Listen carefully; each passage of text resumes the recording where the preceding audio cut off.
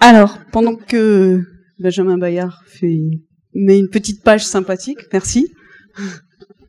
Euh, je voudrais. Euh...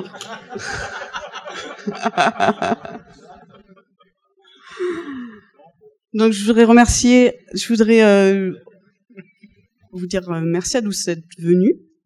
Euh, remercier également vous que vous commenciez. Donc, euh, ben, le Capitole Libre, euh, c'est sponsorisé par euh, pas mal d'entreprises, notamment Logilab, Sierra Wireless, Machina Corpus, j'en ai oublié, Open Pandora.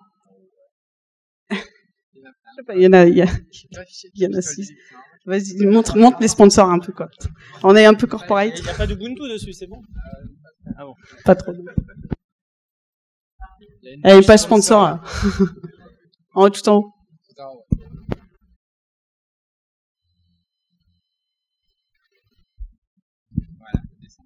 Ah, parce qu'à ce heure-ci, j'ai pas de mémoire. Hein. Innovance, voilà, elle descend un peu. Et Cadab, Logilab, Machina Corpus, Pomodora, Sierra Wireless. Voilà, bravo. Merci.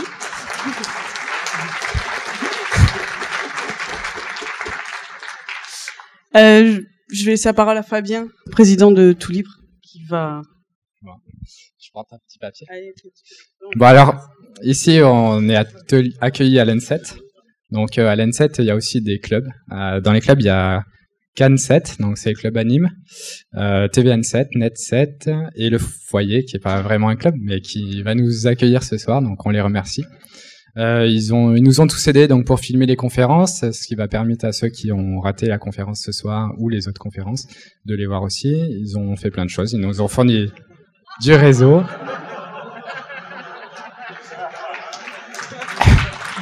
Et voilà, ils nous fournissent le réseau pour afficher ce genre de site. Donc on les remercie, ainsi que tous les bénévoles. Donc il y en a quelques-uns qui se cachent dans les coins. Il y en a d'autres qui bossent encore euh, dans les autres salles. Il y en a partout.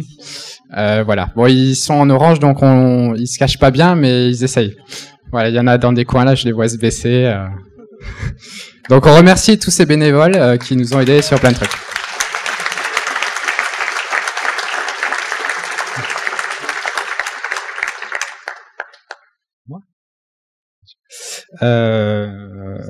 Ouais. Et puis donc, je sais plus ce que tu voulais dire. Et donc euh, demain, ça continue puisqu'il y a des ateliers. Il y a des ateliers où on peut encore s'inscrire, euh, notamment l'atelier Leaflet. Si ça vous intéresse, on a rajouté des places. Euh, donc vous pouvez aller sur le site du Capitole du Libre, programme atelier. L'atelier aussi Pouillou, qui va proposer faire un roman en Creative Commons collaboratif. Donc euh, n'hésitez pas. Enfin, il y a d'autres ateliers, allez les voir. Et euh, donc euh, maintenant, je vais laisser par la parole au, au, duo de choc. la communauté de l'anneau, on va dire, dans le rôle de des hobbits. Lequel je vous dirai pas. J'ai les, les pieds poilus. C'est vraiment les pieds poilus. Donc voilà, merci à tous et bonne soirée, bonne conférence.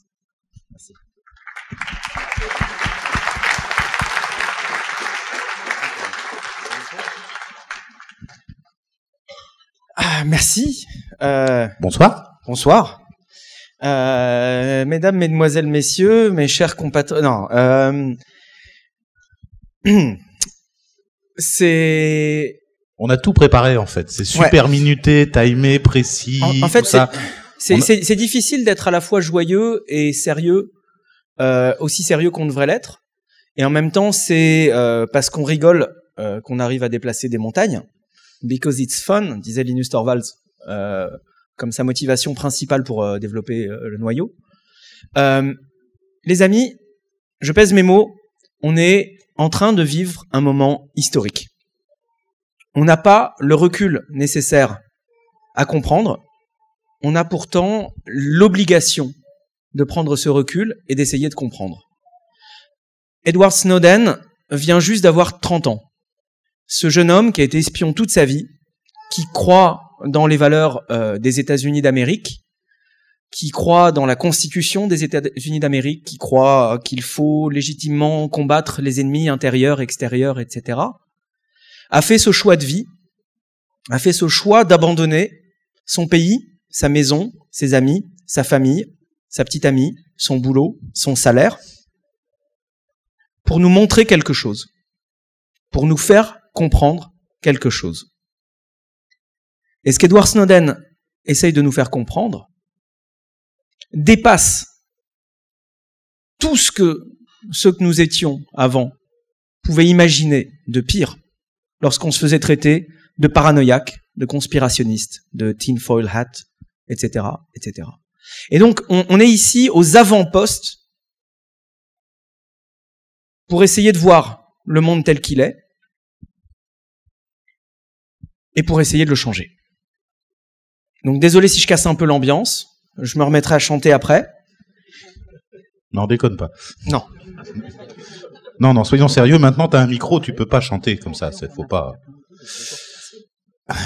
Euh... Ouais, tu, tu pètes l'ambiance quand même. Euh...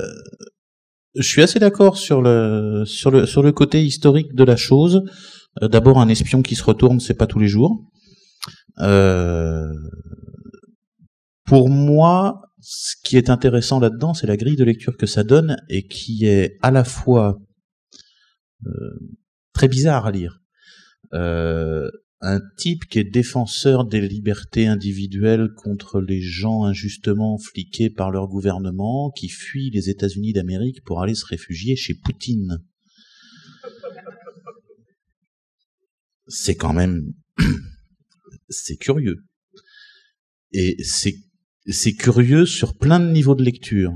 Euh, ce qu'on soupçonnait déjà depuis euh, au moins l'affaire Wikileaks et probablement un peu avant, c'est que les États-Unis d'Amérique ne sont plus dans les défenseurs des libertés. Ça, c'est fini. Ça, c'était une idée euh, toute faite des années 60 et elle est plus vraie. Elle, je sais pas si elle était vraie à l'époque. Je suis un peu trop jeune pour pour savoir dire. Euh, mais en tout cas, maintenant, elle est devenue complètement fausse. Euh... Euh, il faut d'abord essayer de, de comprendre ce que l'on peut lire de ce qu'Edward Snowden nous donne à lire. Ce que l'on voit ici, c'est les contours en filigrane d'une société totalitaire à l'échelle globale. C'est la preuve. C'est pas le premier marqueur. C'est, pas le premier marqueur, mais on a là une preuve irréfutable du caractère global de ces violations de liberté fondamentale. Ce droit fondamental qu'est celui de la protection de la vie privée, on y reviendra peut-être, est massivement violé parce que on peut le faire. Et ça, je pense que c'est un des éléments absolument fondamentaux. Le deuxième élément, c'est que la surveillance étatique et la surveillance privée sont aujourd'hui devenues indissociables.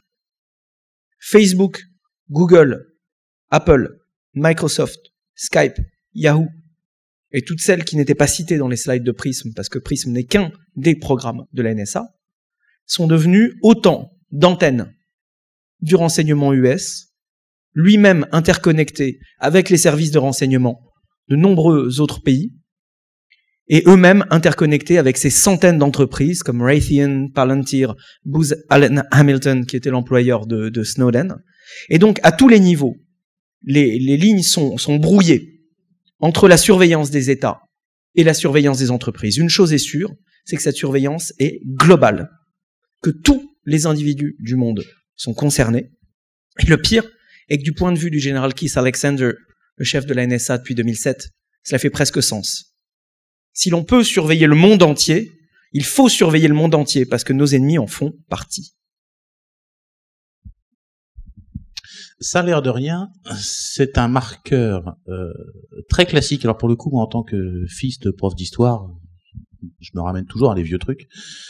Euh, les gouvernements qui surveillent la totalité de leur population, c'est un marqueur classique des régimes dictatoriaux.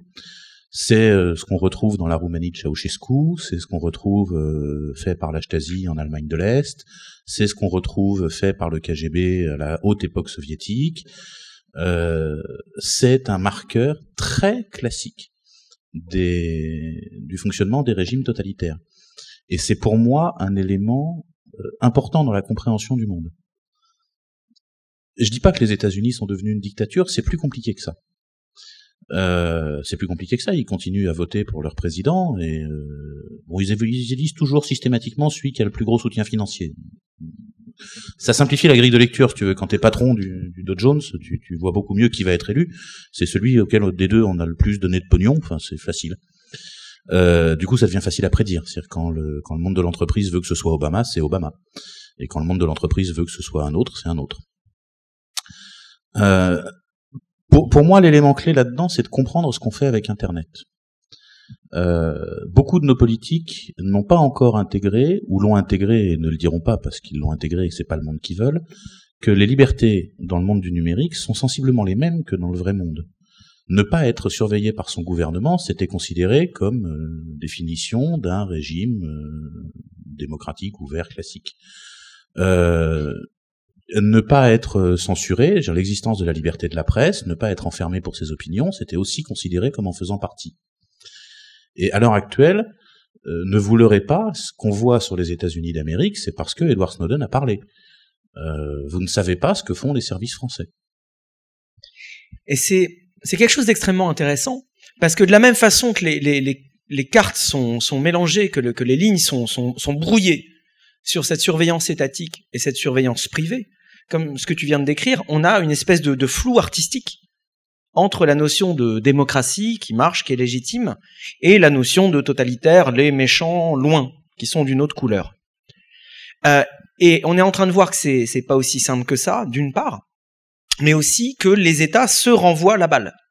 Et d'une, euh, par la réponse à tout ça, ou dans la presse, un des spins les plus impressionnants qu'on ait vu, c'est ouais, de toute façon, tout le monde le fait. de toute façon, tout le monde viole les libertés, donc euh, eh, c'est pas grave.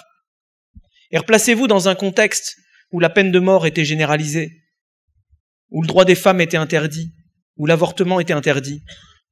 Imaginez-vous entendre un argument comme ça. Ah mais tout le monde le fait. C'est légitime, bien sûr. Et ce que ça révèle, c'est que les, différents gouvernements, les différents services de renseignement sont évidemment, se tiennent par la barbichette, sont engagés dans des accords les uns avec les autres pour échanger des accès, pour échanger des données, pour échanger des procédures, pour échanger des clés. Et c'est ce qui rend le merdier encore plus indémerdable. C'est ce qui rend la situation encore plus complexe et ce qui exige encore plus que nous nous mobilisions et que nous agissions. Dans les, marqueurs classiques des États totalitaires, il y a le fait que l'administration puisse prendre des sanctions privatives de liberté sans passer par un juge, mais sans passer par un procès équitable. C'est un vieux classique, ça. Dans les pays totalitaires, euh, le méchant. Alors, dans, dans l'image républicaine française classique du début du XXe siècle, on dit le roi pour dire le méchant, oui. Euh, il embastille les gens sur décret. Euh, Aujourd'hui, les mesures de, de privation de liberté sur Internet, alors ça se prend pas en embastillant les gens, ça se prend en coupant, en filtrant, etc.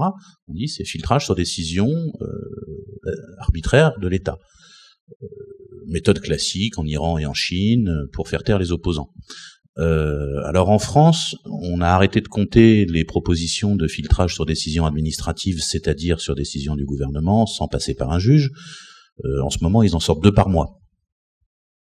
Le gouvernement actuel, hein, Projet de loi conso, projet de loi sur la prostitution et projet de loi sur l'égalité homme-femme. Trois projets de loi qui, directement ou indirectement, vont imposer cette censure des contenus. Oui, c'est plus compliqué que le filtrage. Et, et ça, c'est et ça, c'est que les projets de loi sur les traités internationaux. On a arrêté de numéroter aussi, parce qu'on a réussi à faire repousser ACTA, mais il y a des problèmes euh, très similaires dans les traités transpacifiques. Euh, donc pour le coup, on n'est pas concerné. Mais enfin, c'est-à-dire que si le Japon Si et les États-Unis s'y mettent, on est concerné. On est concerné. Et il se trouve que les clauses quasiment identiques sont dans le traité en cours de négociation entre les États-Unis et l'Europe. Ah ça, on sait pas, parce qu'on l'a pas vu. Ouais. Et c'est un problème en soi.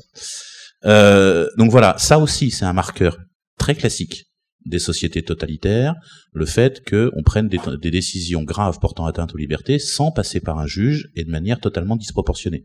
Et justement, puisque tu l'évoques, je pense qu'il est urgent de se reposer la question euh, de ce que signifie une violation de liberté individuelle et de ce que signifie la définition même de nos libertés individuelles dans l'environnement numérique. On entend liberté, liberté, droit fondamental, liberté fondamentale à tout bout de champ. Euh, les gauchistes euh, utilisent euh, l'adjectif liberticide à tous les coins de phrase. Et on est en train de diluer un petit peu le, sens de ces mots et leur caractère fondamental pour notre, même pas dire nos démocraties, parce que le, terme lui aussi commence à être dilué, mais pour la façon dont on a de vivre les uns avec les autres, pour l'organisation, pour la structuration de nos sociétés. Et cette protection de la vie privée, ce droit à la protection de la vie privée, c'est un droit fondamental. Et il faut se poser la question, il faut apprendre à réapprendre, à définir ce que veut dire la protection de la vie privée et ce que veut dire violer ce droit fondamental. Quelques petits exemples comme ça. Euh, les comportements changent lorsque vous vous savez surveiller. Si vous savez que tout ce que vous êtes en train de taper ou de dire au téléphone va être enregistré et pourrait être utilisé contre vous, vous n'allez pas dire que votre patron, qu'un collègue, qu'un gouvernement est en train de se livrer à des injustices, à des crimes, à des mensonges. Vous n'allez pas le dire parce que ça pourrait être utilisé contre vous et que le risque est trop fort, vous risquez de vous faire embastiller. De la même façon, vous n'allez pas appeler votre docteur pour lui demander des informations sur un avortement ou sur le, HIV. De la même façon, vous n'allez pas aller à une réunion des alcooliques anonymes. Euh, non, non, mais nous, on n'est pas anonymes, laisse, on a bon. Ou, ah. ou à une réunion de création d'un nouveau parti politique d'opposition, si vous savez que le gouvernement L'UDI, tu veux dire? Le savoir. Et l'UDI. Et non, j'ai pas dit un, un parti d'agrément. Euh, et et se, se, servir de cette information pour organiser une purge des représailles ou des mesures euh, douces qui vous défavoriseraient la prochaine fois que vous chercherez un boulot ou des, choses comme ça. Donc les comportements changent parce que la protection de la vie privée implique le bon usage des autres libertés fondamentales. La liberté d'expression, la liberté de mouvement, la liberté d'association, la liberté de penser, la liberté d'opinion sont conditionnées par cette protection de la vie privée. Alors pas que de la vie privée, en France, ce qu'on entend, c'est plus le privacy américain que le, le vie privée française, ce que tu décris. Ah non, c'est la, dans la Déclaration des droits de l'homme et du citoyen. je ne sais pas si y a la protection de la vie privée dans la Déclaration des droits de l'homme et du citoyen, mais dans l'UNHCR, mhm. la, protection de la vie privée, c'est exactement ça. Mais euh, typiquement, il y a une grande partie qui est le secret des, ce qu'on appelle classiquement le secret des correspondances privées. Euh, qui, qui, relève d'une sphère subtilement différente, mais qui est couverte par le même privacy américain. Qui est ce qu'on se dit entre nous, relève pas nécessairement de la vie privée, mais est, privé. La charte européenne des droits fondamentaux, par exemple, mm. c'est écrit noir sur blanc. Privacy. Privacy, en anglais. En français, le vie privée est plus restreint. Privacy, c'est protection de la vie privée en français. Mm. Mm. Si, si, si, si, vraiment. Vraiment. Vrai de vrai. Euh, mais donc voilà, ça, ça correspond, ça, ça, recouvre plusieurs choses. C'est ça, par exemple, qui est, euh, c'est un des éléments essentiels pour moi dans les questions autour d'Internet et qui sont qui sont à la frontière entre du politique et du technique. Euh, ce qui est embêtant dans le fait que vous ayez quasiment tous une page, une page Facebook. Qui n'a pas de page Facebook ici? Eh, Ouais, ça fait quand même une courte minorité. Non, non, non. Hein. Attends, attends, attends, C'est le taux le plus haut que j'ai vu de mhm. ces six derniers mois où je pose la question régulièrement. Sérieusement, bravo. Merci. C'est bon, on peut arrêter de parler, on peut aller boire des bières. C'est, bon. Là, on a un public de convaincus. Mais tu te rends compte, dans un public de convaincus, il y en a euh, plus des trois quarts qui ont une page Facebook. Qui n'utilise pas Google? Waouh Il y a plus de une main qui se lève, la mienne. Impressionnant, impressionnant.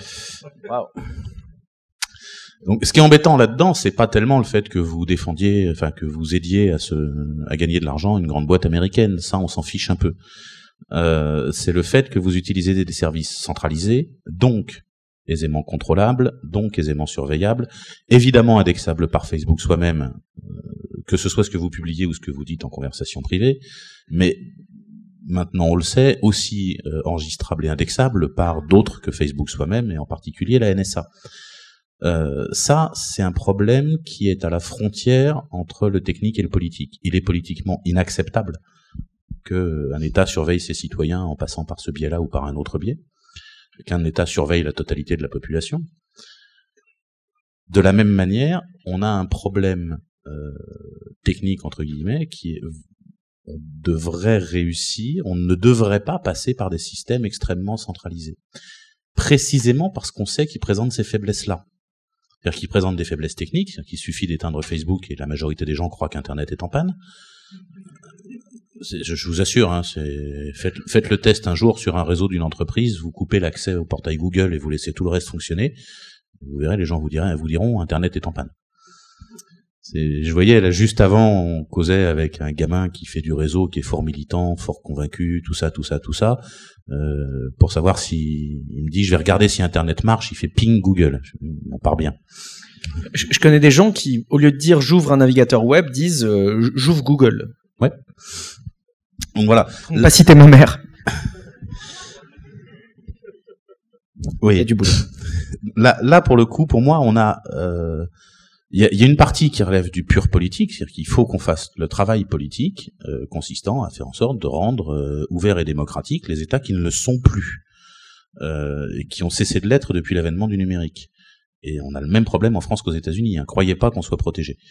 Euh, les services secrets français font au moins autant de bêtises et je, pour le moment, ils s'arrangent pour que les espions ne trahissent pas. Oui, enfin, eux, ils n'ont pas Google, Facebook, Apple, Microsoft, euh, etc. Ah, ça fait une grosse différence sur le caractère global. Ils sont peut-être moins compétents, dit-on dans le public. Ils ont beaucoup moins de budget. Ils ont ils beaucoup moins de budget. Surtout beaucoup moins de budget. Ils ont, ils ont pas les sous. Compétents, faut pas croire. Ils sont pas tous mauvais. Et, et moins de mécanismes euh, euh législatifs leur permettant de, euh, de, de, de, faire plier des entreprises euh, et les faire, de faire coopérer des entreprises. Donc, il y a évidemment un volet politique qu'il faut que nous traitions, euh, mais il y a aussi un volet euh, politique, enfin technique qu'il faut traiter, c'est-à-dire qu'il faut mettre en place un certain nombre d'outils qui permettent de. Ça, c'est du vrai travail pour. Euh, il semblerait que les gens de l'IETF commencent à s'en préoccuper. Et, et, si je puis me permettre. Et on a un travail de militant à faire. Si je puis me permettre, euh, la capacité phénoménale est à peu près égale des politiques et des technologiques euh, à ignorer le facteur humain est quelque chose qui nous concerne aussi éminemment. Et donc, une partie de la solution est politique et législative, c'est évident. Une partie de la solution est technologique, c'est évident également. Mais une partie, et je pense que c'est peut-être la plus importante, est forcément humaine, c'est-à-dire sociale et culturelle. C'est-à-dire faire évoluer les comportements, faire évoluer les mentalités. Et de permettre aux gens de penser la technologie autrement que selon l'axe c'est user-friendly, les coins sont ronds, lol, c'est facile. Et de l'autre côté, je n'y comprends rien parce que de toute façon, moi, je n'y comprends rien. Parce que je me sens inférieur, parce que je suis pas programmeur, parce qu'on m'a toujours fait peur avec les chiffres, les maths, les écrans noirs avec du texte en blanc dessus. Et arriver à faire comprendre aux gens que cet axe est en réalité d'un côté les technologies qui vous contrôlent et de l'autre les technologies qui vous donnent le contrôle, mais qui nécessitent pour cela que vous autonomisiez, que vous preniez en main ces technologies, que vous les appreniez pour les comprendre, pour les, les absorber. Ça, c'est un des travaux les plus importants qu'on a à faire. J'aime bien citer un exemple très con là-dessus. Euh, on va faire simple. Qui parmi vous a, des, a un lecteur de DVD à la maison? Allez, tout le monde, non, à peu moi. près? Pas moi. Euh, vous êtes tous déjà tombés sur le machin quand vous appuyez sur le bouton de la télécommande pour accéder au menu euh, pendant le merdier là qui vous bloque avec un logo ou avec un, une pub qui vous insulte. Euh, ça vous dit euh, sens interdit. Vous avez tous déjà testé sur un ordinateur normal euh, avec VLC. En fait, euh, ça marche très bien. On peut passer la pub, on peut passer le, le logo pénible. On n'est pas obligé de le regarder. Voilà, ça, c'est un exemple très très simple de dispositif technique extraordinairement courant qui fait rentrer dans la tête des gens qu'il est normal qu'un outil technique vous interdise. C'est ahurissant. Cet élément-là est un des éléments les plus courants de la vie de tous les jours qui fait rentrer dans la tête des gens qu'il est normal que ce soit la machine qui contrôle l'homme et pas le contraire. Ça, ça a l'air idiot. Si je dis c'est inacceptable que le lecteur de DVD me dise euh, permission denied, sens interdit. Euh, on croit que je fais un caprice. Non, je parle de politique. Je parle de politique. Ça, pour moi, c'est une question de politique. Votre téléphone qui obéit à Apple au lieu de vous obéir à vous, c'est un problème politique. Et c'est un problème politique majeur. Vous n'avez pas signé un contrat, vous ne pouvez pas légalement signer un contrat par lequel vous renoncez à vos libertés individuelles et à vos droits. Ah si, tu peux le signer. Ça ne veut pas, dire pour autant qu'il est, qu'il est valable. Il n'a pas Mais de valeur. si tu le signes et que tu crois qu'il a de la valeur et que tu ne le contestes pas devant les tribunaux, alors un il, sera, il contrat, sera mis en œuvre. On peut pas être esclave par contrat. C'est pas possible. Dans ces paramètres socio-culturels, j'insiste là-dessus parce que vous connaissez comme moi, sans doute, on va parler de, on parle d'un ami ici, c'est quelqu'un qui n'est pas dans la pièce ici. Des gens qui, quand ils vont voir un, ma- un Mac, vont faire ouais, t'es con, t'as un Mac. Genre ouais, t'es con, t'es encore sur Facebook. Euh, je suis convaincu d'une chose, c'est que ça n'est pas comme ça que l'on fait changer les comportements. Alors les guéguerres, euh, Ubuntu, Debian, VI, Emacs, etc. C'est c'est c'est sympa, c'est amusant, c'est folklorique. Ça ça fait du ça fait de l'audience, on va dire. Et pour autant, il nous reste à apprendre les façons de, de faire évoluer les mentalités, de faire évoluer les, les comportements, de quelque part de, de descendre de notre piédestal, de descendre de notre statut de ceux qui, parce qu'ils étaient plus ou moins asociaux dans leur adolescence et parce qu'ils avaient les moyens, parce qu'ils sont nés dans un contexte euh, social qui leur permettait d'avoir accès à la micro-informatique à cette époque, qui ont appris les ordinateurs et qui les ont appris avant les autres et qui les ont compris avant les autres. Il y a des moments où il faut descendre de ça et aller vers les gens et leur expliquer les fondamentaux, réexpliquer les fondamentaux. Je me suis presque astreint tout à l'heure à vous redéfinir ce que c'était que le droit fondamental à la protection de la vie privée et les conséquences des violations de ce droit fondamental à la protection de la vie privée. Parce que, en parlant toute la journée, j'ai l'impression que c'est évident pour tout le monde. Et on a tous ce biais-là. Et si je vous parle de ça, c'est parce qu'on va, je pense, forcément évoquer les solutions, la résistance, ce que l'on peut faire pour essayer de changer le monde, pour sortir de ce merdier totalitaire global. À part pendre le dernier des patrons avec les tripes du dernier curé, tu veux À dire part ça, il y a, il y a d'autres choses à faire avec. Je, je mentionnais ça et tout le reste.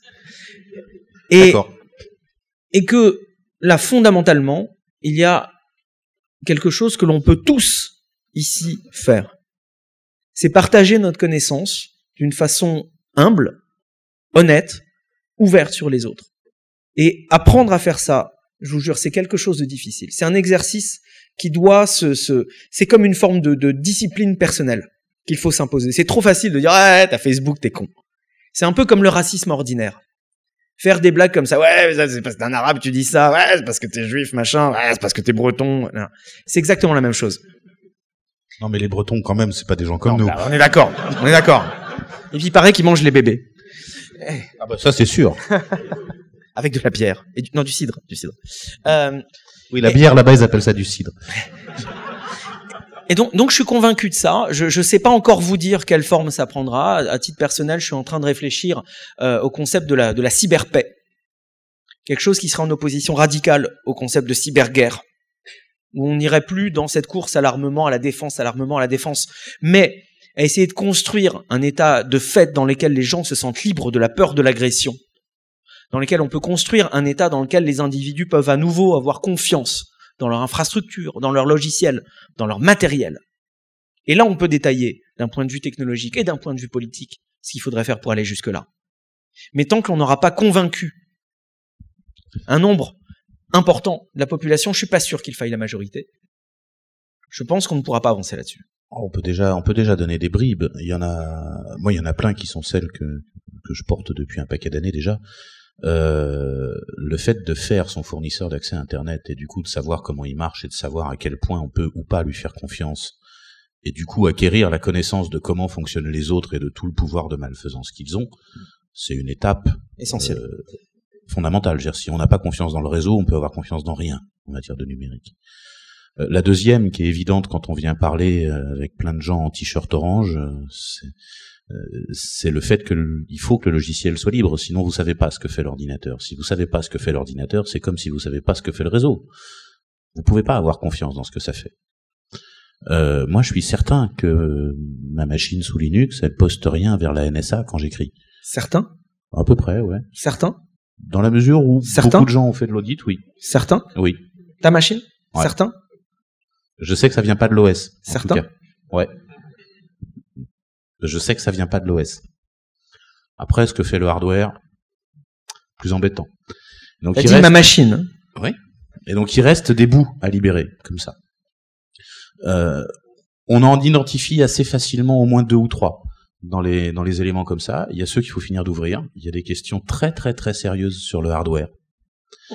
Euh, L'exemple le plus criant étant votre téléphone. Tous les téléphones mobiles. Déjà, faut arrêter d'appeler ça des téléphones, c'est des ordinateurs. Oui. Ce sont des ordinateurs mobiles qui permettent de téléphoner aussi. Ce sont des ordinateurs mobiles équipés d'une puce radio qui permettent d'émettre et de recevoir des ondes. Tous les téléphones, je reste là-dessus, tournent en général deux OS. L'un qui est celui du téléphone dont vous ne savez rien et dont vous ne saurez rien, et l'autre qui est celui de l'ordinateur. C'est-à-dire que ça, c'est effectivement un ordinateur mobile plus un téléphone. Et il se trouve que le système d'exploitation qui, fait tourner la partie téléphone, qui est entièrement fermé sur des chips dont on sait qu'ils font des choses bizarres et probablement anormales, euh, à peu près personne sait comment ça marche. Et donc ça, c'est un vrai problème. C'est euh, typiquement toutes les les rumeurs que vous avez entendues sur le fait que euh, même quand il est éteint, on peut encore euh, piloter euh, votre bidule qui est dans votre poche, là, votre ordiphone. Ah, c'est pas que des rumeurs. Ben hein. voilà, c'est pas une rumeur. Nos- Nos amis de Privacy International ont écrit Ça, des lettres à six fabricants de, de hardware euh, de, de ces ordinateurs mobiles, en leur posant un certain nombre de questions très précises, y compris une fois la batterie enlevée, est-ce que certains composants peuvent être encore actifs et encore activables à distance? Trois ont répondu à cette question.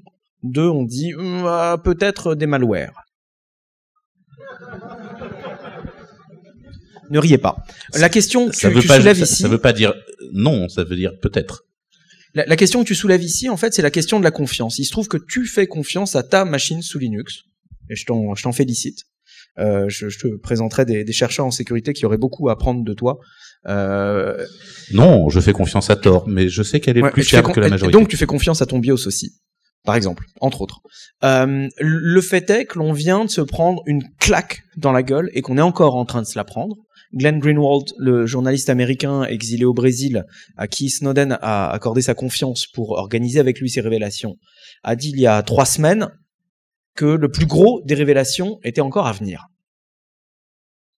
Rassurez-vous, on n'a vu que le, la petite portion. Ce que l'on a vu jusqu'à présent, c'est une claque dans la gueule en termes de confiance. Ok, peut-être pas grand monde ici faisait confiance à Facebook et Google avant. D'accord. Mais vous avouerez que dans la population, c'était quand même la majorité. Tout le monde faisait une confiance aveugle en Google, Facebook, Apple, Microsoft et compagnie. Et aujourd'hui, on s'aperçoit que par les agissements de la NSA plus un ensemble législatif dans le droit américain, on a la preuve par A plus B que l'on ne peut pas et que l'on ne pourra plus jamais faire confiance à ces entreprises. Et ce que cela définit ici, c'est véritablement notre rapport à la technologie. On pensait que ces ordinateurs, ces services, ces en- entreprises étaient nos amis. On s'aperçoit en réalité qu'ils sont nos ennemis. Alors je suis d'accord avec toi intégralement sur le fait qu'il faut apprendre à faire notre Internet nous-mêmes, parce que ce sera la seule façon de le refaire une fois qu'il aura été cassé jusqu'au dernier octet, si c'est le cas. Mais ce que l'on est réellement en train de... de ce, ce que l'on est obligé aujourd'hui de devoir réfléchir et de devoir inventer, c'est les conditions d'utilisation de ces technologies dans un cadre où on ne peut pas faire confiance au réseau, où on ne peut pas faire confiance au matériel, et où on ne peut pas faire confiance aux fournisseurs de logiciels propriétaires. Et ce que l'on voit se dessiner ici, je vais y revenir, c'est les, design patterns, les, les principes d'ingénierie, les principes de conception, d'un côté des technologies du totalitarisme et du contrôle de l'usage et des individus, et de l'autre les design patterns, les, les principes de conception des technologies qui libèrent. D'un côté, on a la centralisation, l'hypercentralisation, les logiciels et les matériels fermés, et la fausse sécurité, l'illusion de sécurité, le chiffrement qui vous dit faites confiance à Skype et vos communications seront sécurisées. De l'autre côté, euh. on a les services décentralisés, le logiciel libre, le matériel dans lequel on peut faire confiance qui n'existe pas encore, et le chiffrement point à point, dans lequel les individus gèrent leurs clés eux-mêmes et ne délèguent pas à un tiers la confiance qu'ils ont dans l'implémentation du chiffrement. Question bête, vous avez tous suivi le fait que la NSA accède librement à tous les contenus sur Google, Facebook Co, ça vous avez tous suivi. Vous avez tous suivi la partie euh, influence sur les développements? Bull Run. Pas, pas, pas forcément tant que ça? Euh, c'est extraordinairement intéressant. C'est-à-dire que non seulement la, NSA accède à n'importe quoi, etc., etc. ok, on a compris. Ils font pire que ce qu'on pensait dans ce domaine-là, mais ils ont aussi un travail actif pour rendre faible, le plus faible possible, les solutions de sécurisation de tout le monde. Commercial. moi, j'aime beaucoup la réponse qu'a apportée Linus Torvalds quand on lui a posé la question où il fait un grand oui avec la tête, longuement, et puis dans le micro, il dit non. Pour, répondre à la question, est-ce qu'il a été approché? Pas est-ce que ces backdoors ont été insérés dans, dans pour, son pour répondre à la question, est-ce que est-ce que sur l'interprétation Est-ce que vous avez été approché? Est-ce qu'on vous a demandé euh... évident qu'il y a des backdoors aussi dans le logiciel libre. Le logiciel libre n'est pas la, la, la baguette magique contre les backdoors de la NSA. Non, programme mais par contre, on a une chance faible de les trouver. le, beaucoup moins faible que dans les logiciels propriétaires. Ah ben dans le logiciel propriétaire, on n'a aucune chance de les trouver. Dans le logiciel libre, on a une chance, si on regarde attentivement au bon endroit, de finir par les trouver. Le programme que tu décris, c'est le programme Bull Run. C'est un programme à 250 millions de dollars euh, que la NSA a dépensé chaque année pour aller saboter. On peut parler de sabotage. Une par une, les technologies commerciales qui permettent de sécuriser les données et les communications. Et ce que démontre Bull Run, outre le fait que l'on ne pourra plus jamais faire confiance dans une entreprise américaine pour fournir une solution de sécurité. Et c'est là peut-être la lueur d'espoir que l'on a devant nous. Et c'est ce que disait Snowden dans sa première interview euh, à Hong Kong, euh, filmée par Laura Poitras. C'est que les maths tiennent encore. Ce que disait Snowden, c'est que a good implementation of strong cryptography still holds. Une bonne implémentation d'une cryptographie forte tient encore le choc. Si la NSA avait cassé les mathématiques, il n'aurait pas besoin de dépenser ces 250 millions par an pour aller briser une par une la fiabilité des implémentations de la crypto. Et cela veut dire que les maths restent du côté des citoyens, restent du côté de l'humanité, restent du côté des libertés. la seule chose, je sais pas, mais à disposition. La seule chose, c'est qu'il faut maintenant se poser la question de ce qu'est une bonne implémentation d'une crypto forte à vos calculatrices. Pour moi, ce programme-là est un des plus intéressants à réfléchir. Euh, d'abord, il montre euh, deux, choses évidentes. C'est si vous aviez encore un doute, vous ne pouvez pas en matière de sécurité. Déjà dans le reste, on peut pas tellement, mais en matière de sécurité, vous ne pouvez pas faire confiance à un programme qui ne soit pas libre. Ça ne veut pas dire que vous pouvez faire confiance à tous les programmes libres. Mais vous ne pouvez pas faire confiance à un programme qui ne soit pas libre. Euh, ça veut dire que les questions d'audit de sécurité sur les programmes vont devenir des questions sérieuses. Si elles n'étaient pas déjà. Bah, ça va devenir plus sérieux parce qu'avant, on pensait qu'on cherchait des bugs, on pensait qu'on cherchait des failles, on pensait qu'on cherchait des anomalies, on pensait pas qu'on cherchait des bugs faits exprès on pensait pas qu'on cherchait des erreurs de design introduites volontairement par quelqu'un qui a participé au développement pour instiller des fautes. L'histoire du, bug dans le générateur de nombres aléatoires de Debian peut quand même se poser quelques questions. Oui. Juste une négligence, laissez-la pendant deux ans. Debian étant un des OS les plus répandus sur les serveurs. Au hasard. Au hasard. Euh, donc voilà, le, ce, ce, type de questions qui était avant des questions pour geeks. Est-ce que l'implémentation de GPG est meilleure que celle de PGP Est-ce qu'elle est plus ci ou moins ça? Etc. Qui étaient des questions qui ne passionnaient que les geeks, vont devenir des questions politiques, en fait. Est-ce que euh, tel algo est efficace? Là-dessus, on a des réponses assez solides. Sur l'algo, sur, les maths, pour le moment, ça tient, et pour le moment, on sait ce qui est solide. Euh, sur l'implémentation logicielle des choses, il va y avoir des vraies questions à poser. Est-ce que telle implémentation est valable ou n'est pas valable? Et à partir de quelle source est compilée l'implémentation que vous faites tourner? Ça va devenir euh, une question absolument critique en matière de sécurité. Et d'où vient votre compilateur et quel est le matériel qui fait tourner le compilateur et quel BIOS a été flashé dans le matériel qui fait tourner le compilateur, etc. Oui. Et quel compilateur a compilé Et qui compilera les compilateurs? Qui surveillera les surveillants?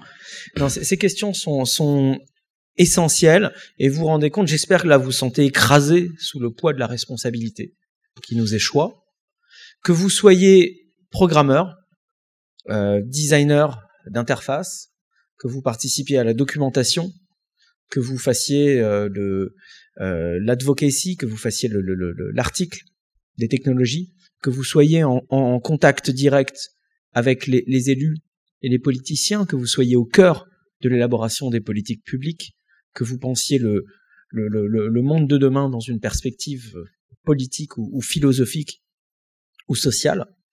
J'espère que vous vous rendez compte que l'on a tous ici un rôle à jouer.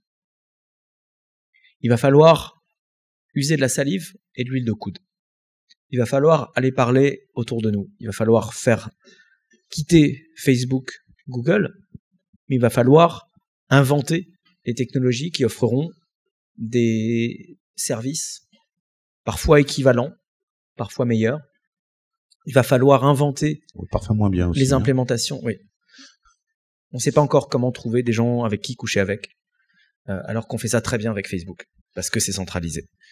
Euh, on, a des vrais défis technologiques, des vrais défis politiques, et il va falloir euh, faire des efforts démesurés. Il s'agit ici du, monde que l'on va léguer aux générations futures, lesquelles générations futures regarderont notre époque et se diront, mais est-ce qu'ils étaient vraiment bêtes à ce point?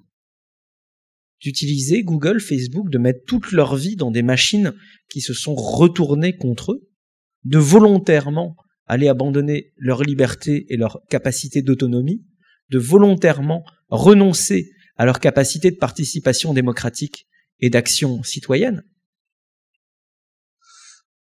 Alors, il y a un volet sur lequel on est plus embêté, sur lequel moi je suis embêté en ce moment, c'est le volet politique parce que c'est quand même une question fondamentalement politique. Euh, est-ce que mon ordinateur a la capacité de m'espionner? Oui. Est-ce que mes logiciels ont la capacité de m'espionner? Oui. Euh, est-ce que je fais plus confiance à ma Debian qu'à Windows moyen? Oui. Même si, bon, j'ai pas plus de billes que ça. Euh, est-ce que je fais plus confiance à mon fournisseur d'accès Internet qu'à à peu près n'importe quel autre en France? Ouais, ça, ça va. même si il y a des tas d'éléments sur lesquels je ne sais pas. Euh, moi, j'ai pas audité euh, le hard qui fait tourner le switch sur lequel est branché le câble qui, et donc, euh, ben, je sais pas ce qu'il fait celui-là. C'est Cisco ou Huawei? Alors, ça dépend lequel. Il y en a un qui doit être un Kiko et l'autre qui doit être un HP. tu vois, c'est plutôt américain. C'est plutôt américain. Ça va, on est en sécurité. Non, on sait par qui on se fait écouter, quoi. C'est important. Euh, par contre, ils sont pas atteignables facilement depuis Internet. Ça complique un peu. T'inquiète, il doit y avoir des, raccourcis. Euh, mais sur le volet politique, c'est beaucoup plus embêtant parce qu'en fait, il y a à l'heure actuelle rien dans le personnel politique sur ces sujets-là. Euh, pour le moment, dans le personnel politique, hormis, on va, je vais mettre de côté les, les 3-4 euh, dans chaque camp qui ont à peu près compris les questions. Il euh, y en a euh, deux trois au PS qui ont compris, il y en a deux trois à l'UMP, il y en a deux trois au centre. Tu parles de la France. Oui, oui, oui, je ah. parle du politique. Bah oui, parce que moi le politique américain comprend, je vote pas là-bas, donc. Euh. L'Union européenne et le reste du monde aussi. Ah, l'Union européenne, même chose. nous, on vote que pour les députés européens français. Bah, ouais, mais il se trouve que le, alors je, je vais pas placer un, un, espoir démesuré dans les instances politiques européennes, mais euh, la commission euh, liberté publique du Parlement européen est en train de se saisir de la question, et des pays dans l'Union européenne où il se passe des choses, mais même au-delà de ça, euh, en Amérique latine, au Brésil et dans les pays de la Mercosur, il semble y avoir une mobilisation euh, assez authentique qui semble se prolonger dans, dans la durée autour de ces questions-là. Donc je, je, je tempère euh, et je, je, partage tout à fait ton analyse politique euh, de, de, des sphères françaises, mais c'est peut-être pas de France que viendra les réponses politiques à, ce, à cette question-là. Peut-être pas. Mais enfin bon, c'est pas une raison pour qu'on fasse rien. Et, et, moi, je suis très embêté parce que dans les dans les partis politiques français, qu'ils soient de gouvernement ou autres, j'en ai j'en ai pas vu qui tiennent la route quoi. Sur ces sujets-là, il y a à peu près rien. Et, et c'est pour moi une vraie préoccupation parce que ça, ce sont les vraies questions euh, politiques sérieuses du début du XXIe siècle, euh, beaucoup plus sérieuses en fait que les, portiques. Que, ouais, par exemple les portiques ou euh, savoir si les bonnets doivent être rouges ou pas. Euh, voilà, on est on est là sur des questions qui sont extrêmement fondamentales et qui pour le moment ne sont pas traitées et qui ne posent pas de questions budgétaires. C'est pas comme si ça coûtait cher. On parle pas du fait de passer le SMIC à 4000 euros et, et de dire que demain on rase gratis. Euh, on est sur quelque chose qui relève seulement de la politique, du, comment faisons-nous citer ensemble et euh, des, des, libertés fondamentales et de comment on les protège. Et à l'heure actuelle, dans nos partis politiques, il n'y a rien. je peux même pas vous dire faut qu'on change, euh, ça suffit pas. Je, suis convaincu d'une chose. Après peut-être qu'on va ouvrir le. On va la, passer la discussion. Je pense qu'ils sont chauds là, c'est bien. Chaud patate, chaud patate. Euh, mais tu as peut-être quelque chose à ajouter. Moi, je suis convaincu d'une chose, c'est que euh, les contextes politiques, il faut pas les attendre, il faut les créer. Et c'est ce qu'on a démontré sur le paquet télécom au, Parlement européen, euh, sur l'ACTA au Parlement européen, sur l'ADOPI, la décision du Conseil constitutionnel qui a rendu ce machin inopérant en France, sur quelques autres victoires peut-être moins visibles que celle-là. Et je parle que pour la courte histoire de la quadrature du net on a démontré qu'on avait la capacité d'organisation, d'action, de coordination, grâce à un Internet libre qu'on a encore par petits bouts entre nos mains, pour créer du contexte politique qui rend inévitable pour les responsables de se positionner et de se positionner de notre côté. Parce que s'ils font pas, ils se prennent des milliers de mails, des milliers de coups de fil, des insultes, des menaces, des trucs et des machins qu'on, nous, moi, je contrôle pas ma base, hein, vous savez, j'y suis pour rien. Mais vous voyez très bien où je veux en venir. Et donc, ces aspects socio-culturels que je mentionnais tout à l'heure, je pense qu'ils touchent également à la façon dont les individus vont se saisir de ces questions-là, vont se mobiliser. Et au plus, on continuera d'en parler, d'écrire, d'interroger, les uns et les autres, en parallèle de ces développements technologiques absolument indispensables, en parallèle de ces inventions de, programmes politiques et législatifs qui pourraient éventuellement apporter la réponse à certains de ces programmes, ces problèmes, pardon, je suis convaincu que ce sont ces, mouvements. Quelqu'un m'a dit euh, peu de temps après la victoire sur l'ACTA, et j'aurais jamais pensé en ces termes, que ACTA, on avait généré et, et, et entretenu un, un mouvement social. Alors c'est un terme un petit peu connoté. Mouvement social, c'est une bande d'individus qui se mobilisent sur une cause commune. Je suis convaincu qu'il n'y a que si on arrive à susciter l'intérêt et la mobilisation de nos concitoyens. Et là, on a devant nous des, éléments absolument euh, irréfutables, essentiels pour nous permettre de faire ça. On est dans une, dans une position où, pour la première fois dans l'histoire de nos communautés, nous avons l'initiative. On est capable de dire, on vous l'avait bien dit. Ou ça fait cinq ans qu'on vous racontait ça, ça fait dix ans qu'on vous disait ça, ça fait trente ans que Richard vous disait ça. On a entre les mains des munitions d'une puissance folle. Et encore une fois, désolé si je, il me semble qu'on a une responsabilité énorme, énorme, de s'en servir avant qu'elle ne se gâte, de, de, laisser, euh, de ne pas laisser ce momentum euh, repartir, de ne pas laisser l'intérêt se, déliter et de, prolonger ce mouvement, de prolonger cet intérêt qu'il y a aujourd'hui parmi nos concitoyens sur ces questions-là. Ouais, je pense qu'on va passer la, question, la parole aux gens, en fait. Je suis sûr que vous avez plein de questions.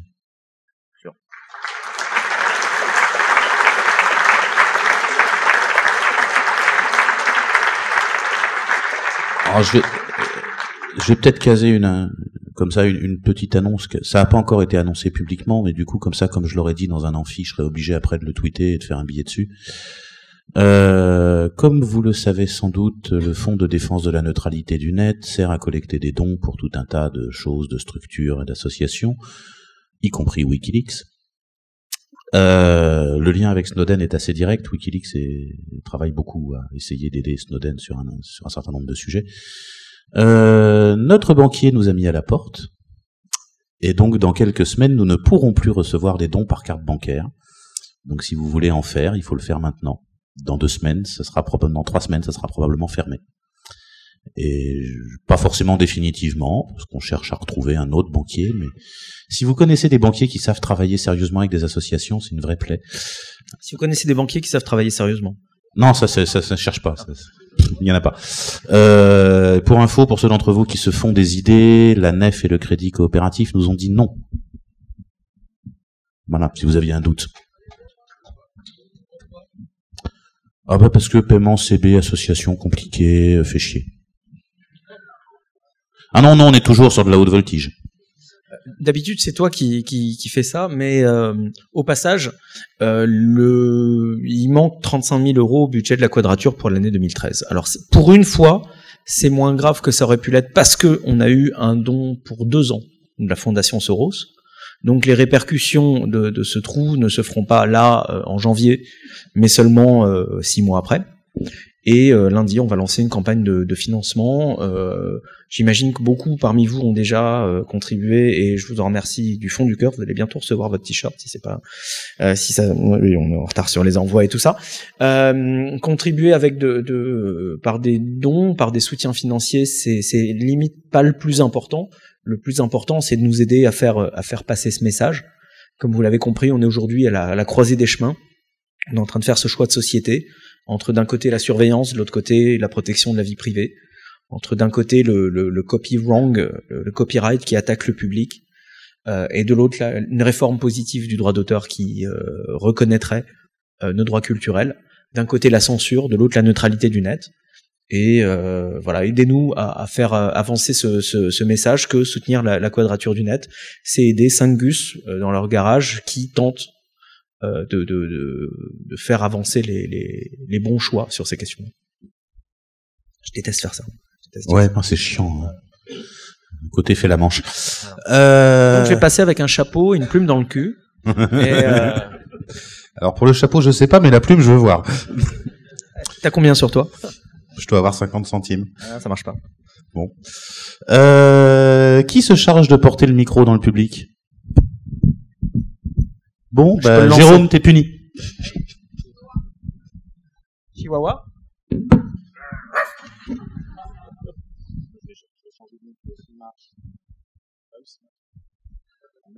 Oui. Allô? Non, donc on passera la main. Voilà, tout à l'heure, tu as, tu, as demandé qui, dans l'assistance, ne se servait pas de Google. Maintenant, je voudrais savoir s'il y a des études qui ont été faites sur tous les sites web qu'on peut trouver euh, dans le grand web mondial. Combien d'entre eux utilisent les services de Google AdSense euh, et quelle est la proportion des sites web qui sont euh, tracés par Google AdSense? Est-ce que est-ce qu'une étude a été faite là-dessus? C'est une bonne question. On pourrait parler de ceux qui sont traqués par Google AdSense, mais aussi de ceux qui sont traqués par Google Analytics. Donc ça fait un paquet. Euh, euh, la, solution à ça, on la connaît, c'est NoScript. Euh, il y a aussi, comment s'appelle-t-il, Disconnect, je crois, qui est la version logiciel libre de Ghostery. Non, non, bien sûr, bien sûr. Mais il y a ceux qui sont traqués par.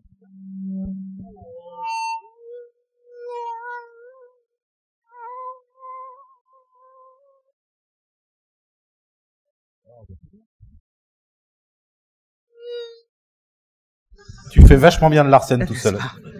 Et il y a ceux qui sont traqués par Google, il y a ceux qui sont traqués par Facebook, il y a ceux qui sont traqués par euh, AdClick, par DoubleClick, par machin click, par machin ad, par machin bidule et par machin truc. Et quand on sert de nos scripts, on voit sur chacun des sites les plus légitimes, institutionnels, etc., les dizaines d'acteurs commerciaux qui vont insérer du code plus ou moins euh, malveillant, euh, qui a juste pour but de, de, de traquer nos, nos, faits et gestes. Non, je ne suis pas au courant d'études en la matière, mais ça fait évidemment partie du, du, du problème. Euh, et les solutions euh, qui viendront donner aux, aux, citoyens les moyens de reprendre le contrôle de leurs données personnelles euh, sur leur comportement dans le cadre de la, leur navigation web sont évidemment au premier plan euh, parmi ce qu'il faut qu'on invente ou réinvente. Il y a, il y a des éléments de réponse euh, qui... Maintenant, je suis... Ça marche? Ouais. Je pense que vous m'entendez. Euh, il y a des éléments de réponse à, à, ta question, mais qui sont complètement biaisés. Ce que tu vas trouver comme étude, c'est une répartition des parts de marché en matière de publicité, par exemple. Euh, sur les sites français qui ont recours à la publicité, 95% du chiffre d'affaires publicitaire est fait, ou 80%, je sais plus, au travers de Google. Ça, là-dessus, il y a des études. Euh, mais ça te donne une vision partielle parce que c'est en chiffre d'affaires. Ça dit pas à quel endroit tu es traqué, à quel endroit tu l'es pas. Euh, et ça ne couvre que, on parle que du chiffre d'affaires en France. Il se trouve que le chiffre d'affaires dans tel ou tel autre pays est structuré différemment. Euh, en France, Google représente plus de 95% du, du, marché des moteurs de recherche. Euh, on est presque une caricature. Alors qu'en Chine, curieusement En Chine, vachement moins. Euh, même aux États-Unis, euh, Bing représente une part euh, moins nulle qu'en France. Bon, c'est pas mieux, hein, mais mais juste Bing, c'est le moteur de recherche de, de, Microsoft.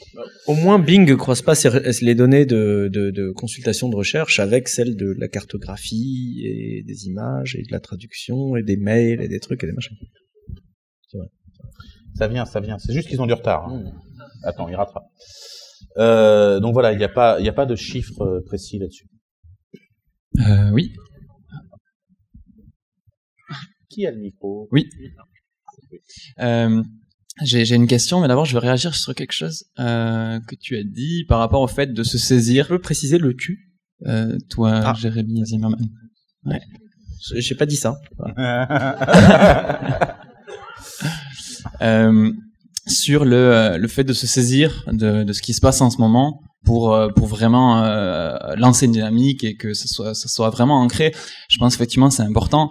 Hum, moi je, connais moins ces thèmes-là en fait. Je suis venu surtout pour découvrir là aujourd'hui et euh, et je me rends compte que par exemple si on prend euh, il y a trois ans Fukushima, on pensait que ça allait être pff, le raz-de-marée vraiment pour qu'on se dise mais c'est pas possible de continuer sur un truc comme ça. On voit que même au Japon ils reconstruisent des centrales. Donc je pense vraiment très important parce que dans trois ans ça sera oublié. Euh, et euh, ensuite, euh, pour, enfin, oublier pour la majorité des gens, je veux dire, il y aura toujours des gens qui seront hyper actifs sur ces sujets-là, c'est sûr. Et la question, par contre, c'était justement sur le qu'en est-il du hardware libre? Et effectivement, parce que le hardware, c'est des infrastructures immenses et comment s'affranchir du système actuel. Voilà, merci. Alors, euh, déjà sur l'analogie avec Fukushima, elle est, elle est, pas si mal que ça. En fait, les révélations de Snowden euh, montre que le Fukushima de nos données personnelles est en cours depuis à peu près octobre 2001, le vote du Patriot Act aux États-Unis. Donc la, la, seule différence avec Fukushima, c'est qu'on l'a vu à la seconde où ça s'est passé, et là il a fallu attendre quelque chose comme dix ans pour le voir. Mais l'analogie est pas loin d'être bête. Euh, sur Fukushima, on a vu que des entreprises comme Areva ont immédiatement investi des dizaines de millions d'euros de communication dite de crise pour aller lancer dans la presse des, des, des, des spins, pour aller lancer des idées qui venaient contrer celles qui étaient en train de se diffuser. Et aussi, on a vu que dans certains pays comme l'Allemagne, Fukushima a eu un impact décisif pour impulser les politiques publiques et les engager une fois pour toutes, peut-être, en faveur des, des énergies euh, dites euh, renouvelables. Euh, donc, là encore, il y a il y a, des nuances à apporter, mais la situation, effectivement, est similaire. Les Booz Allen Hamilton, et employeurs de Snowden et autres compagnies listées dans les spy files de, de Wikileaks, les centaines d'entreprises qui absorbent la, la, majorité du budget du renseignement US et dans lesquelles se trouve, je crois, la majorité des 950 000 citoyens américains accrédités top secret, sont forcément aujourd'hui en train d'investir aux côtés des Google, Facebook, Microsoft, Apple, etc., dans de la communication qui va aller diffuser les, les, les spins que ah de toute façon tout le monde le fait et de toute façon si on n'a rien à cacher on n'a rien à cacher et si c'est pour attaquer les méchants terroristes alors c'est justifié et autres idées pernicieuses qui viennent euh, ronger le fondement même euh, de, de, de, la définition que l'on a des libertés individuelles, euh, de l'état de droit, la séparation des pouvoirs, etc. Sur la question du hardware libre, euh, qui ici a entendu parler de Bad BIOS? Oh mince. Alors, ah, je pensais que ça aurait été beaucoup plus. Bad BIOS, c'est le nom de code euh, d'un euh, logiciel espion qu'un chercheur en, en sécurité assez renommé a trouvé sur son ordinateur. Donc le mec organise des concours de venez casser tel ordinateur si vous êtes un homme ou une femme. Euh, et donc ce genre très particulier de capture de flag en, en, matière de, sécurité informatique.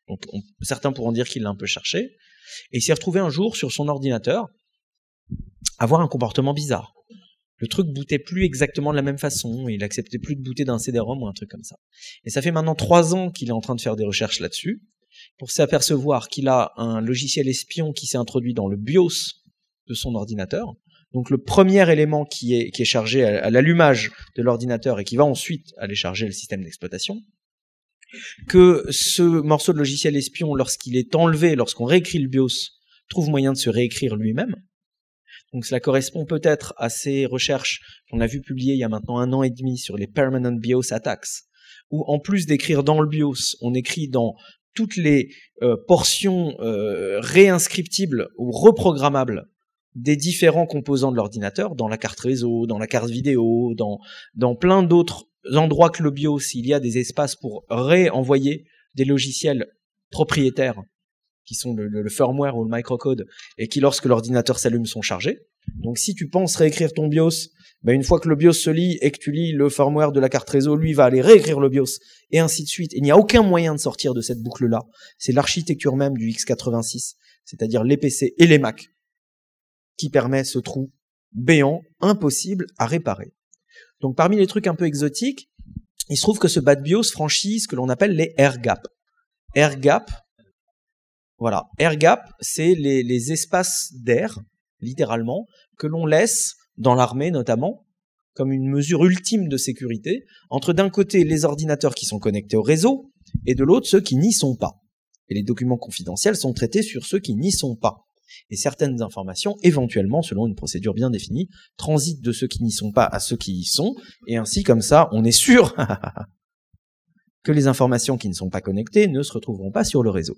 Eh bien, ce, logiciel, apparemment, utiliserait tout simplement le haut-parleur de l'ordinateur euh, atteint, qui s'apercevrait qu'il n'est pas connecté à Internet, pour émettre... Vous vous souvenez les modems à l'époque? Et mettre ça dans les hautes fréquences, en espérant qu'un autre ordinateur infecté quelque part, avec son micro, le capterait pour ensuite l'envoyer sur Internet. Ce truc se propage à l'aide des secteurs défectueux d'une clé USB. Toutes les clés USB contiennent un, mécanisme qui permet de, de single out, d'exclure les secteurs défectueux et de les rendre invisibles au système. Pourtant, on peut écrire dedans. Et donc, on a là quelque chose qui est euh, une arme de guerre, qui ne peut avoir été développée que par une superpuissance, qui est apparemment chiffré d'une façon qui le rend euh, extrêmement difficile à analyser, qui est beaucoup plus élaboré que Stuxnet, qui jusqu'à présent était l'arme de guerre euh, numérique la plus élaborée qu'on avait vue et qui servait à euh, légèrement dérégler les centrifugeuses de, de l'enrichissement de l'uranium et du plutonium iranien. Et ce truc-là, apparemment, se balade dans la nature. Donc, en théorie, ce que cela veut dire, c'est qu'on ne peut plus faire confiance à un ordinateur. Point. Alors, euh, on pourra discuter, on aura des éléments d'information dans les semaines et les mois à venir sur est-ce que le mec est en train de délirer, de ruiner sa carrière, euh, ou est-ce que ces éléments sont réels? Et j'ai hélas quelques éléments qui me laissent à penser que c'est pas complètement délirant. Et ces travaux sur les permanent BIOS attacks qui ont été publiés il y a un an et demi prévoyaient exactement ça.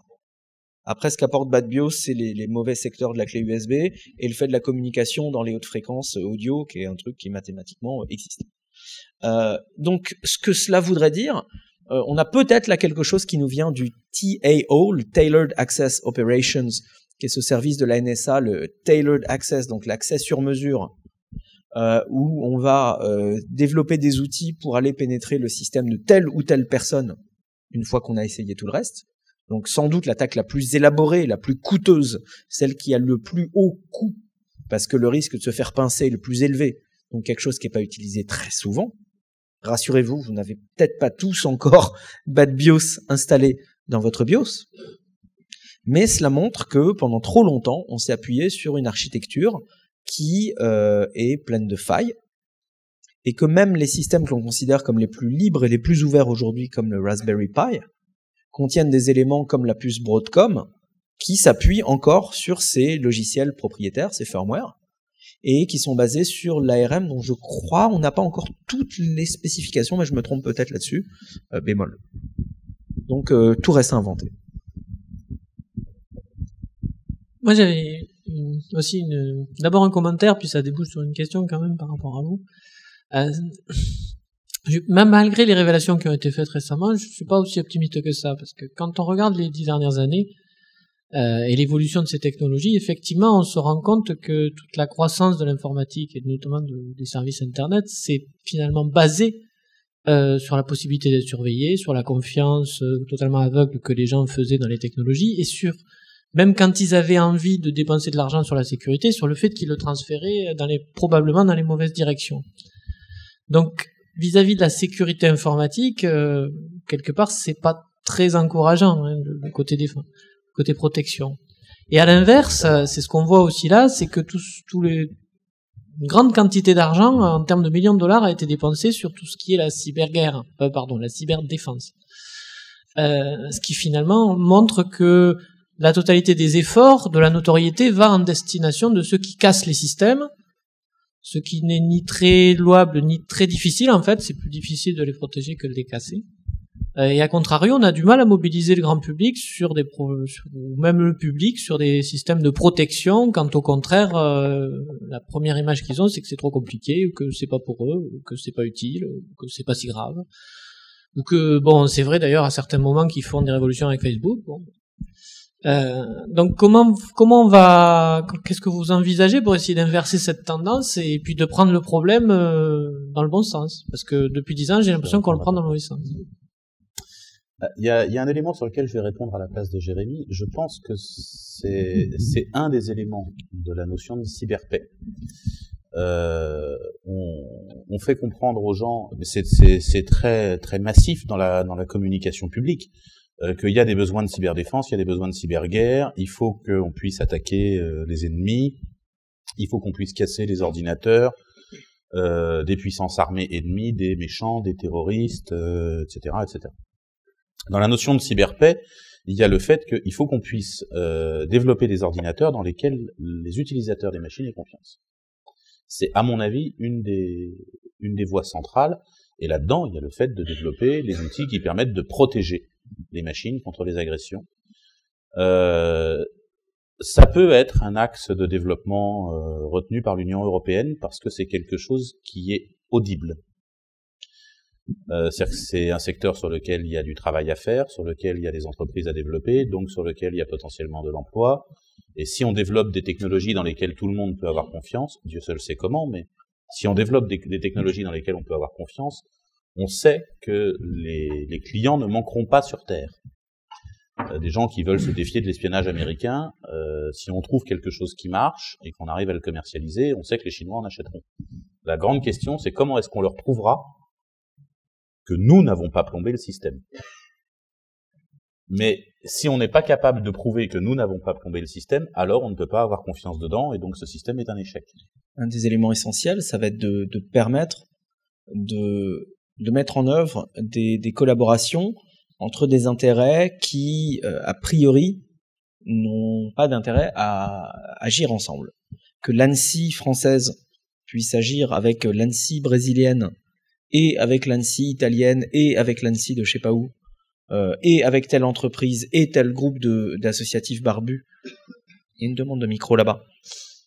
Euh, c'est quelque chose qu'il va falloir que l'on puisse faire émerger pour justement à la fois euh, renforcer euh, ses euh, capacités à élaborer les outils et en même temps renforcer la, confiance mutuelle comme dans une espèce d'équilibre de la terreur où si on sait qu'il y a à la fois l'ANSI brésilienne et l'ANSI française qui ont bossé sur le machin, alors que les deux auraient théoriquement, les deux pays auraient théoriquement un intérêt à espionner l'autre et à se protéger contre l'espionnage de l'autre, alors on pourrait y accorder notre confiance. Et ça veut dire qu'il va falloir que l'on arrive à faire entrer dans nos modèles de développement euh, des, euh, des organismes euh, avec lesquels on n'a pas l'habitude de travailler, d'une part. Et si je rejoins évidemment Benjamin sur ces aspects-là, parce que comme je vous l'ai dit, je suis en train d'essayer d'avancer, de défricher cette notion de, cyberpaix, avec notamment des, chercheurs au Berkman Center Harvard. Euh, ça, c'est pour les aspects euh, macro. Et les aspects macro, on peut, il est évident, il est essentiel que l'on les défriche, mais euh, tout le monde ne va pas euh, forcément dépenser du temps ou de l'énergie là-dessus. Moi, j'aimerais euh, rappeler qu'en face de ça, il y a les aspects micro. Alors, sûr, c'est pas un échantillon représentatif, mais j'ai beaucoup parlé de tout ça avec ma mère. Euh, ma mère est, est juge, donc elle n'est pas du tout versée dans la technologie. Et au début, quand je lui parlais de tout ça, elle était ouais, Et puis un beau jour, elle a compris le logiciel libre. Et puis je lui parlais de tout ça, elle était ouais, Et puis un jour, elle a compris la neutralité du net. Et puis je lui parlais de tout ça, elle était rien à cacher, terroriste, tout ça. Et puis un jour, elle a compris la surveillance massive euh, des citoyens comme un, un, danger démocratique majeur. Donc, je sais que tout le monde n'est pas aussi intelligent que ma mère. Euh, je, je me... Peut-être que tout le monde n'a pas la même capacité de persuasion que la mienne. Mais le fait est que c'est vraiment euh, un cerveau à la fois, une personne à la fois, que cela se fait. Et que si vous parlez à dix personnes et que vous arrivez à en convaincre une, et que cette personne va parler à dix personnes et arriver à en convaincre une, etc., etc., etc., je ne vois rien de plus puissant que ça. Donc oui, penser à comment euh, changer le monde, on va le faire. On va le faire tous ensemble. On va ouvrir des wikis, des comments, des pads et des choses pour essayer de maximiser la participation là-dessus. Évidemment, comme sur l'ACTA, comme sur le paquet télécom, comme sur l'Adopi, comme sur tout ce qu'on fait, comme sur le moindre bout de logiciel, on ne va pas diffuser quelque chose sans appeler à commentaire. On ne sera jamais sûr de quelque chose sans que tout le monde ait eu l'occasion de s'exprimer, de contester, de troller, de discuter, etc.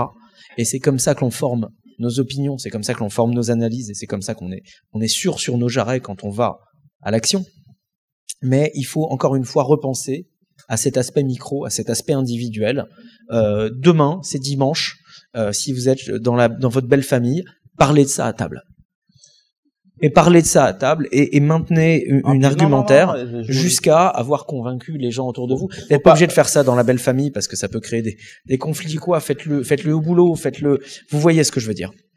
Euh, bêtement, vous avez une occasion qui arrive dans un mois, hein, c'est Noël. C'est l'occasion de parler à Tata Jeannette. Il n'y a, a, pas, y a pas Noël chez le Flying Spaghetti Monster, hein, mais euh, je vois ce que tu veux dire. Ah bah si, c'est une fête commerciale, il y a partout ça. Euh, donc voilà, c'est l'occasion d'aborder ce type de sujet avec les gens avec qui vous n'en parlez pas. Si vous en parlez entre vous, les euh, piliers de Theta Neutral ou de Tout Libre ou de etc. Quand vous en parlez entre vous au bistrot, c'est pas très utile. Vous êtes tous déjà convaincus. Bah si, c'est quand même utile. Ça fait du bien. Ça, ça, ça, et puis ça aide à affûter les arguments. Et ça aide à affûter les arguments, c'est vrai. Mais voilà, le bon le bon moment où utiliser les arguments que vous avez affûtés, c'est euh, la causerie à Noël. Loïc, c'est toi qui as le micro? Non, il est où? Il est où? Okay. euh, Parle-en au Parti Pirate. Lol.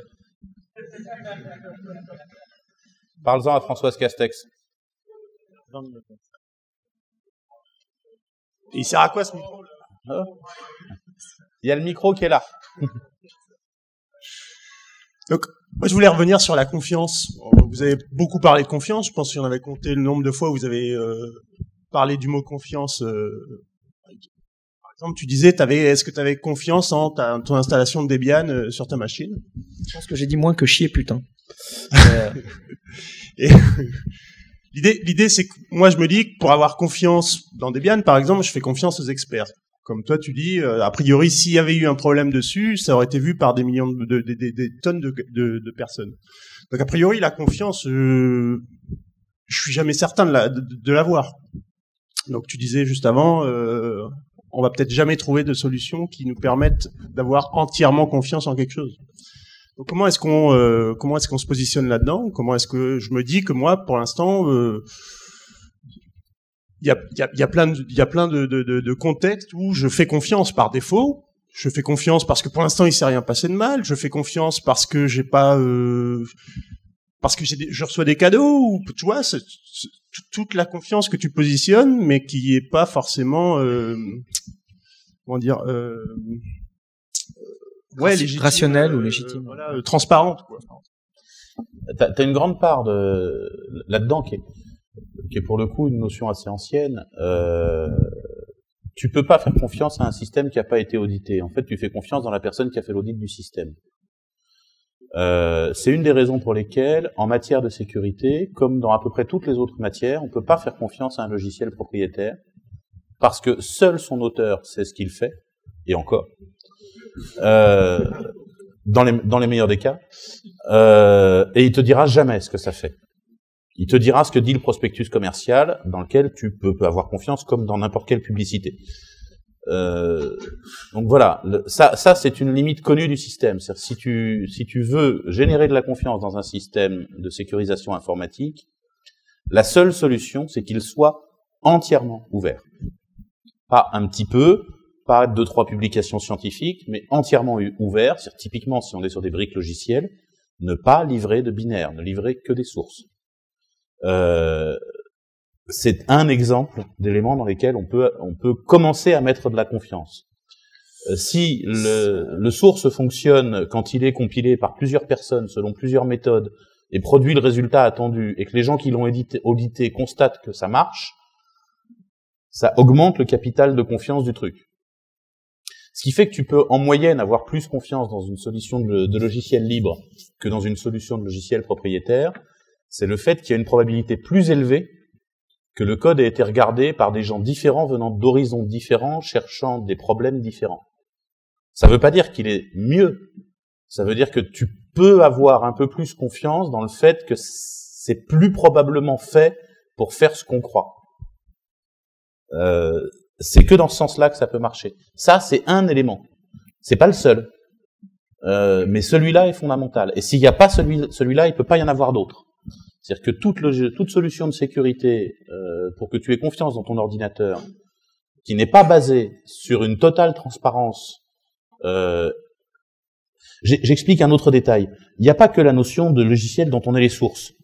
Euh, le, problème clé dans les, histoires dites de baseband, c'est-à-dire la, puce qui gère l'accès au réseau GSM dans, ton ordinophone. Un des problèmes clés, c'est que ce machin est couvert d'une chier de brevets de tous les pays de la Terre. Il y en a des pleines caisses chez Nokia, il y en a des pleines caisses chez France Télécom de brevets sur le, GSM. Il y en a de partout. Et donc en fait, réécrire le bout de soft qui gère ça, non seulement techniquement c'est chiant, mais en plus c'est crevu de brevets partout. Et donc ça, ça crée des emmerdes juridiques. Si tu veux écrire un bout de soft qui gère ça, il va falloir que tu te paluches toute la pile des emmerdes juridiques qui vont avec et des royalties qu'il faut livrer sur tout et n'importe quoi, etc., etc. Et donc personne veut le faire. Et du coup, il y a que deux ou trois implémentations qui existent, qui sont toutes totalement fermées, donc dont personne ne sait ce qu'elles font. Euh, si sur ces normes-là, tu fais sauter toute la couche de brevets et que tu publies les implémentations, très rapidement, on saura ce que ça fait. On va en découvrir des drôles. De deux variétés. On va découvrir plein de bugs.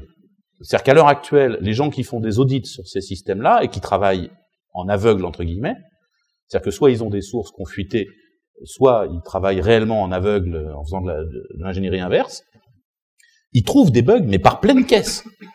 Quand ils cherchent, euh, en faisant des injections aléatoires, pour voir comment se comporte le composant quand on lui met euh, tel signal électrique sur tel pin ou euh, tel autre signal sur tel autre pin, et puis qu'on analyse tout ça, ils trouvent des, des centaines de cas dans lesquels ça plante. Et bien évidemment, c'est jamais corrigé, puisque le truc est complètement fermé. T'envoies quelque chose au fabricant en lui disant euh, j'ai fait ça dessus, ça a fait n'importe quoi. Il va répondre c'est pas dans les specs. Voilà. Il va pas corriger. Il y en a une bien bonne là-dessus. Et donc le quand, quand, quand je parle de libre, je parle pas que du fait qu'on ait les sources et qu'on puisse reproduire un binaire. Il faut aussi que ce soit pas tout crevu de brevets, sinon on peut pas bosser. Sinon, une boîte qui veut repartir des sources en question et compiler et reproduire son binaire, etc., ne peut pas avancer. Une boîte qui veut auditer pour trouver les failles et corriger des failles et contribuer une correction de failles sera aussi emmerdée par une pile de brevets. Donc c'est un tout. C'est pas seulement euh, open source. Open source ne suffit pas. Il faut en plus enlever tout un tas de merde juridique autour. À l'heure actuelle, tu as tout un tas de normes dans le, dans le monde des télécoms que tu n'as pas le droit d'implémenter pour des causes de brevets. J'en ai une bien bonne.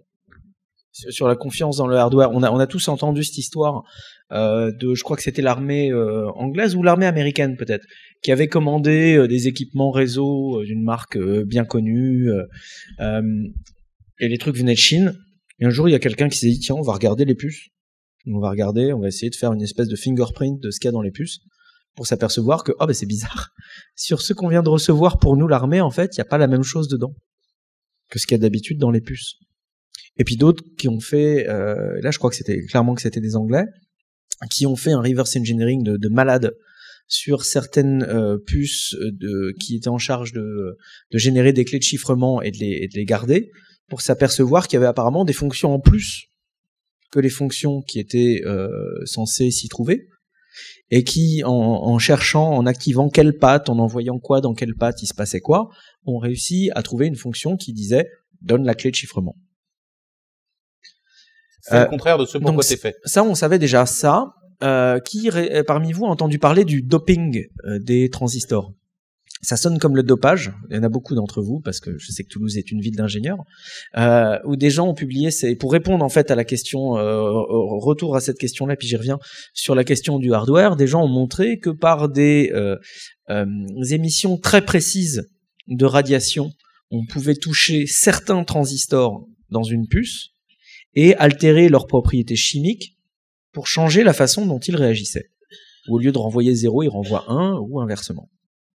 Et donc de là, on pouvait affaiblir, non pas désactiver, mais affaiblir la qualité de certaines fonctions, comme par exemple un générateur de nombres aléatoires indispensable à la qualité d'une euh, implémentation cryptographique.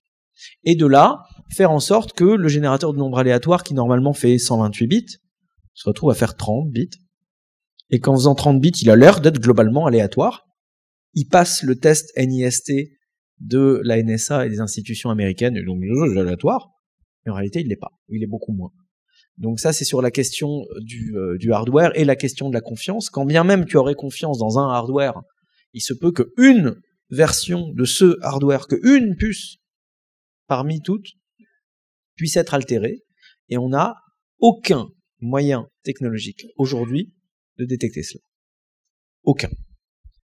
Euh, et la question que tu poses, au-delà euh, des implémentations, des brevets, de tout ce qui peut être en, travers euh, de, cette confiance.